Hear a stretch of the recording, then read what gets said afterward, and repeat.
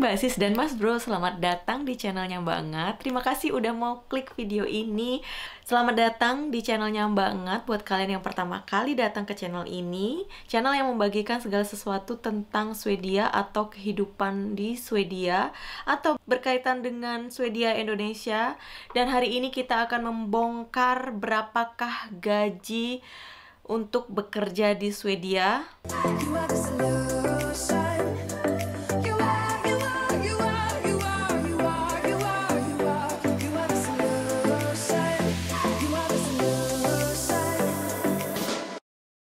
Jadi sebelum aku mulai, aku mau kasih tahu dulu bahwa sumber dari video ini adalah Arbet Medlingen. Bisa dibilang kayak dinas ketenaga kerjaannya yang ada di Swedia. Jadi di sini bisa jadi lebih atau kurang ya. Jadi average berdasarkan dari statistiknya mereka gitu.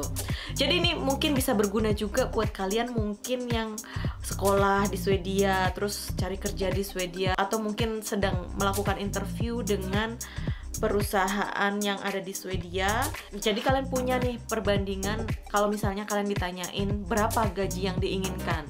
Jadi kalau misalnya ada pertanyaan itu jangan set terlalu rendah, jangan set terlalu tinggi gitu. Mungkin video ini diharapkan bisa jadi pedoman buat kalian yang mungkin mau nego gaji gitu. Yang pertama itu adalah administration. No no no. Cara bacanya administration economy of juridik. Jadi berdasarkan statistiknya mereka gaji rata-rata dari profesi ini adalah 37 gimana ya? Mendingan aku bulatin aja ya. Gak usah deh. Gak usah aku bulatin. Salah lagi. Eh, uh, 37 1542 kroner. Jadi itu adalah rata-rata ya, bisa lebih rendah, bisa lebih tinggi. Dan 10% dari profesi ini gajinya adalah 26.808 kroner dan 10% dari profesi ini juga menghasilkan lebih dari 50.494. Jadi ini tergantung dari eh, levelnya ya. Kayak aku dulu kayaknya dapat bukan dapat sih. Kayak aku dulu pernah interview gitulah dan berkaitan dengan finance gitu kan dan mereka penawaran gajinya itu di angka 25-an ribu tapi ya saya tidak berhasil pemirsa. Jadi saya tidak diterima. Jadi kalau misalnya average itu 37.000 berarti kurang lebih berapa tuh?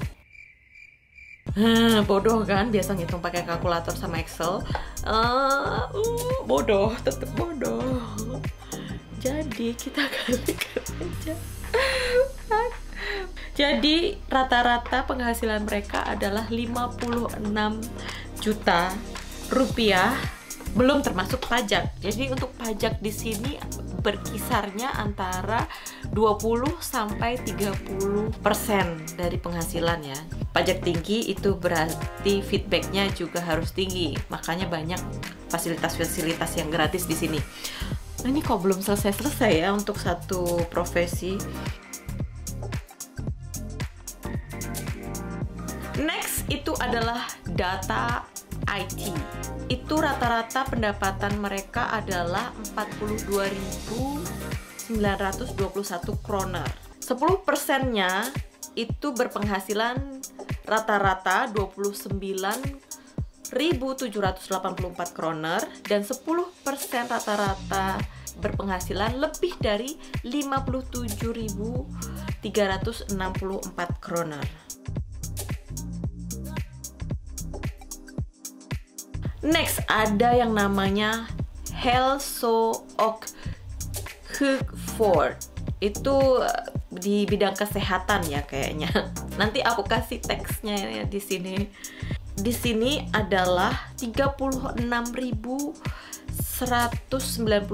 kroner. 10 persennya mempunyai penghasilan rata-rata 29.241 dan 10 persennya berpenghasilan rata-rata 1357 kroner. Ya masih kalah dari IT ini tadi ya.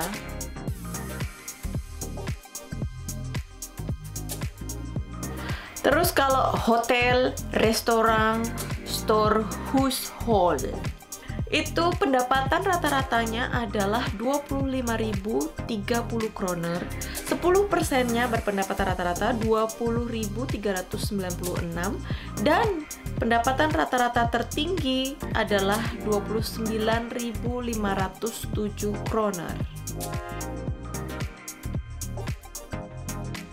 Installation, drift, underhol berpendapatan rata-rata 29.678 kroner 10 persennya 23.384 kroner dan 10 persennya berpenghasilan 36.006 kroner. Lalu ada kultur media design di sini kita bisa lihat rata-rata pendapatan mereka atau rata-rata gaji dari profesi yang ini adalah 34.097 kroner. Dan 10 persennya berpenghasilan 23.204 kroner. Terus 10 persennya menghasilkan lebih rata-rata menghasilkan lebih dari 44.522 kroner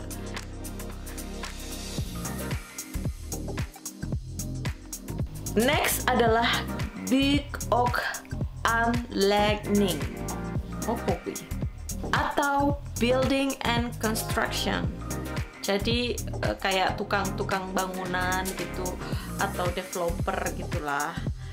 Di situ pendapatan rata-ratanya adalah 33.065 kroner dan 10 persennya menghasilkan Oh gini, 10 persennya menghasilkan kurang dari 25.418 dan 10 persennya menghasilkan lebih dari 40.886 kroner.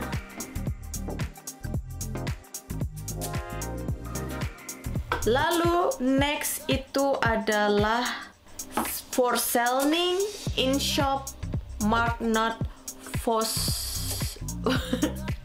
Mark Nuts Fering atau Sales Purchase and Marketing. Jadi kalau di sini untuk mereka ini pendapatan rata-ratanya adalah 33.420 kroner. 10 persennya menghasilkan kurang dari 23.120 kroner dan 10 persennya itu menghasilkan lebih dari 44.107 kroner. Next itu adalah handwork. Handwork yopo. Oh, handwork itu craft. Pendapatan mereka adalah rata-rata 28.126 kroner. 10 persennya menghasilkan kurang dari 23.550 kroner dan 10 persennya menghasilkan lebih dari 32.147 kroner. Next adalah industrial tillverking atau industri manufaktur. Pendapatan rata-ratanya adalah 29.989. 10 persennya menghasilkan kurang dari 23.917 kroner dan 10 persennya menghasilkan lebih dari 36.286 kroner.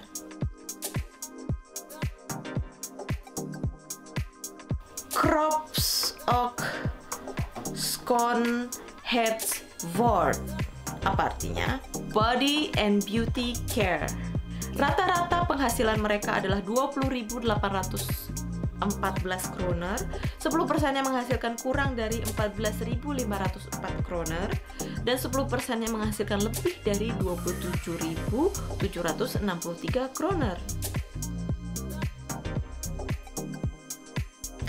Next adalah Militera Irken pastinya military jadi untuk tentara gitu ya untuk tentara ini kok nggak ada ya pendapatan rata-ratanya. Iya loh, rahasia kayaknya. Gak ada di sini. Ya udah kalian nggak usah jadi militer lah.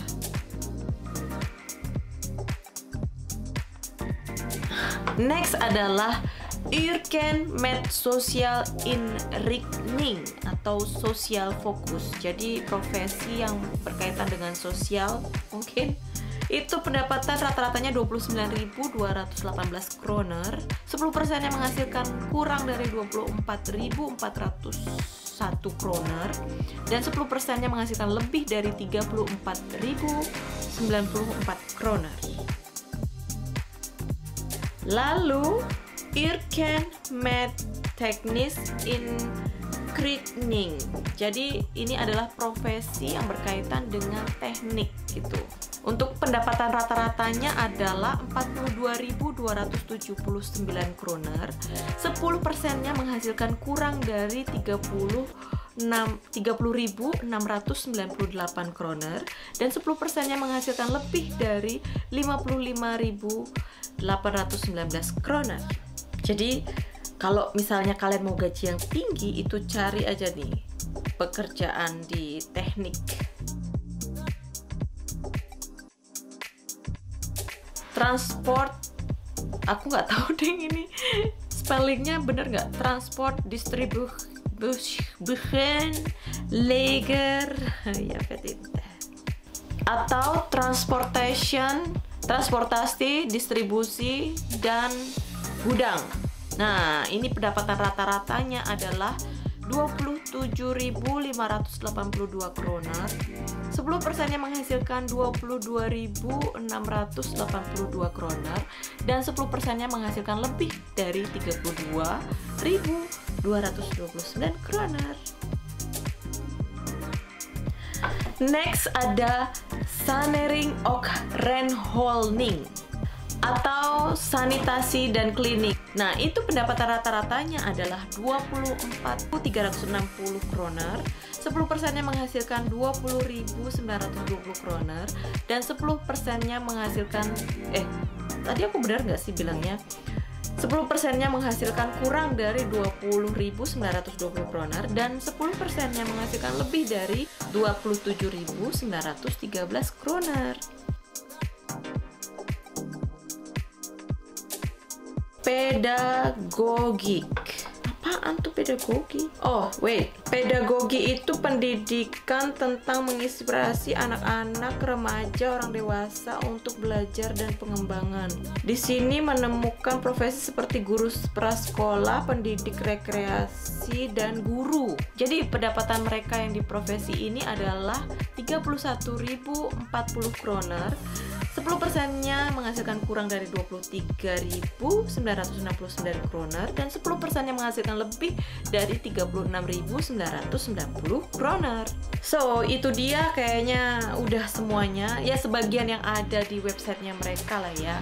Jadi kira-kira kalian mau pilih profesi mana? Kalau misalnya kalian yang masih muda yang masih melakukan pendidikan yang masih mau memilih pendidikan atau mungkin juga mau kuliah di Swedia pengen kuliah di Swedia atau terus nanti mau melanjutkan juga kerja di Swedia kalian bisa nih dijadikan pedoman wah ini nih gaji yang tinggi gitu. tapi catat gaji yang tinggi itu tidak menjamin kebahagiaan pemirsa jadi kalian harus uh, bekerja sesuai dengan hati yang bisa bikin kalian bahagia dan tidak jerawatan curhat mbak. Terus aku juga sempat nerima beberapa pertanyaan gimana cara kerja di Swedia? Aku aja belum dapat kerjaan loh mas mbak. Aku juga cari kerja udah dua tahun gak dapet dapet gitu.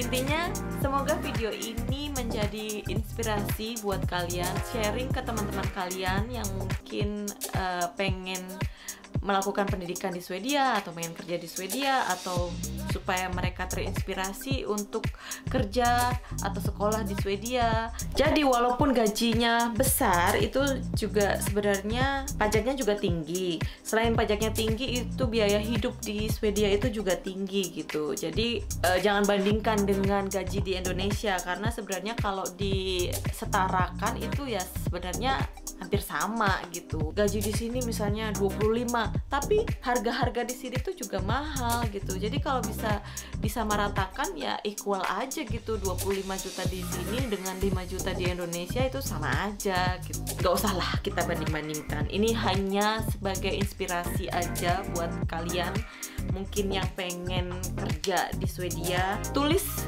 komentar kalian atau apa ya? Atau tulis berapa gaji kalian? Ya kali tulis suruh gaji orang ditulis ya tulis deh apa aja di kolom komentar. Dan terima kasih sudah menonton video ini. Sampai jumpa di video berikutnya. Hey dong